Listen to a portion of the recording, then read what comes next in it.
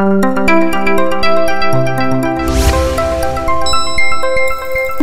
Televízió Idén is palacsinta jutalomban részesítette Szlahó Csaba polgármester a vecsési iskolák kitűnő tanulóit. A gyerekek az elismerő és bíztató szavak mellé csokoládés és lekváros palacsintát is kaptak. Több száz palacsinta készült ebben az évben is a jól tanuló gyermekek számára. Hanek Gábor közreműködésével Szlahó Csaba polgármester az Andrási Gyula általános iskolában kezdte az immár hagyományá vált palacsintaosztást. Hamarosan megkezdődik az évvégi palacsintázás itt az András Gyula általános iskolában. Az ősztanulói létszámból hány gyermek érintett ebben az elismerésben? 473-on vagyunk most, és ez még nem a, nem a 100 százalék, amit most mondok, mert egy héttel ezelőtt mértük fel, 114 kitűnő tanuló van. Most két osztály erdei iskolában van, abból 10 érintett, tehát olyan 104 körüli gyerkőc van most itt. Persze, hogy az alsó sok között van több kitűnő, illetve a magatartást azt nem szoktuk beleszámítani ilyenkor. Tehát vannak olyan gyerekek, akik nem ötös magatartásúak, de hogy minden tárgyból ötösre vannak lezárva, őket kitűnőnek tekintjük. Hány első osztály kezdi meg majd a tanévet szeptemberben? Szerencsére megkaptuk a lehetőséget három első osztály indításához. Viszont termünk az még nincs, itt a hátam mögött, hogyha a kamera pont látja, nem tudom, itt lesz az étkezőből leválasztva a harmadik első osztálynak a terme. Elég sok holtér van itt a, az étkezőben, és pont úgy le tudunk választani egy termet, hogy az összes étkező asztal megmarad, és még éppen, hogy nem vagyunk szűkösen, tehát be tudnak jönni ebédelni így is a gyerekek.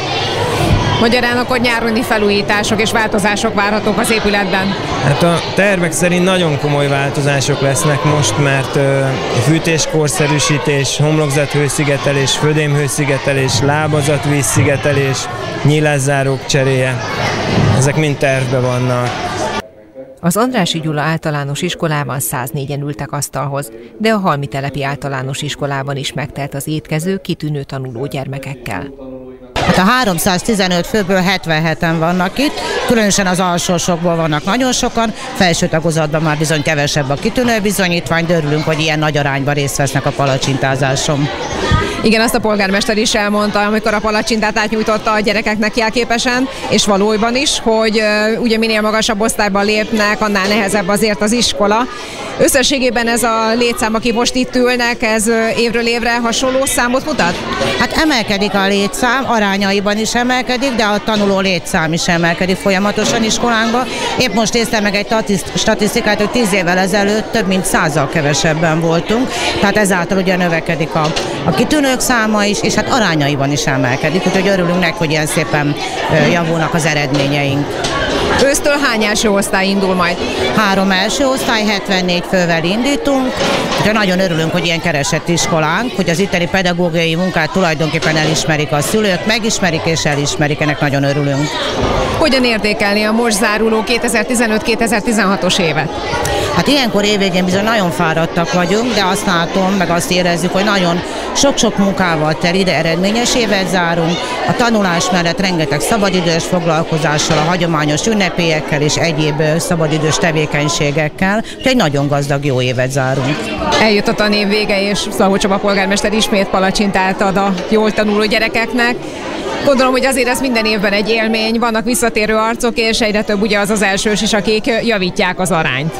Hát így van, hál' Istennek ugye az év vége közeletével mindig van módunk és lehetőségünk jutalmazni a jó tanuló gyermekeket, a, a kiváló tanulmányi eredményt elért gyermekeket, és hát azt gondolom, hogy igazából itt az a lényeg, hogy érezzék azt a törődést, hogy a, a város értékeli a kiváló teljesítményt. És egy őszinték vagyunk magunkhoz, akkor mit értékeljünk, hogyha nem ezt, hiszen a, a gyerekekben a jövő, és ezt el is mondtam nekik, hogy úgy gondolom, hogy évek múltával, hogyha ilyen sikeresen veszik az akadályt a továbbiakban, a középiskolában és majd a, az egyetemen vagy főiskolákon, akkor át tudják venni a stafétát az igazgatónőtől, tőlem, illetve hát az egész országnak a javára szolgál az, hogyha ennyi értelmes és okos gyerekünk van. Voltam ugye már az András iskolába, megyek holnap ugye a Petőfibe és a Grasalkovics Antal általános iskolába is, és ott is ugye ezt el fogom mondani. Ez nekünk is egy biztosíték,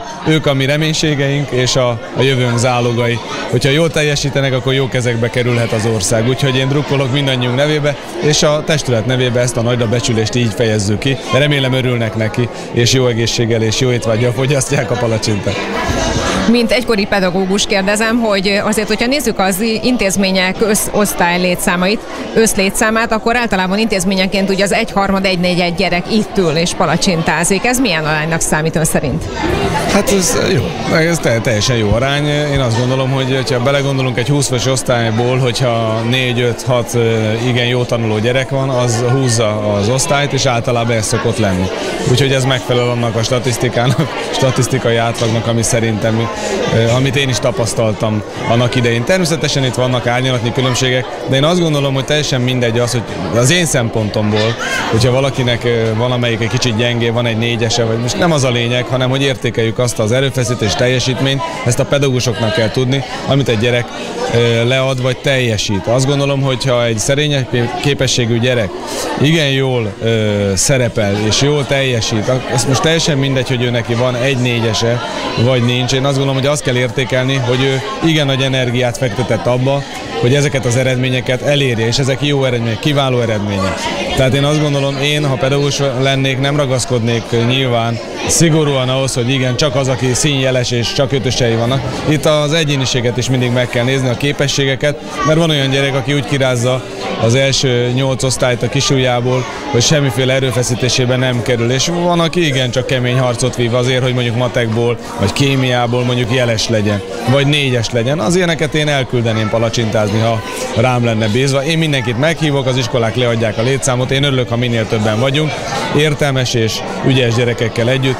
Ez azt gondolom, hogy jó időtöltés, kellemes időtöltés, szeretek itt velük lenni, szeretek az iskolákba kijönni, és ezt a palacsintázást így évvégén. Egy kicsit már euforikus hangulatban, vakáció közeletével, a vakáció időpontjának közeletével, ugye egyre jobb hangulatban van mindenki. A pedagógusok is azért már talán ilyenkor egy kicsit, hát hogy mondjam, leadnak a terhekből, és hát bízom benne, hogy, hogy ez a hangulat aztán az egész vakációra elkíséri őket. Mit kíván a gyerekeknek a nyári szünetre és a szüleiknek? Hát jó, hogy legyen lehetőségük kikapcsolódni, aktívan sportolni és lehetőleg nyaralni is. A palacsintázás szerdán is folytatódott. A Petőfi Sándor római katolikus német nemzetiségi általános iskola és gimnázium étkezőjében 96-an részesültek palacsintázásban. A Grasalkovics Antal német nemzetiségi és kétnyelvű általános iskolában pedig 100 gyermek fogyaszthatta el idén az édes jutalmat.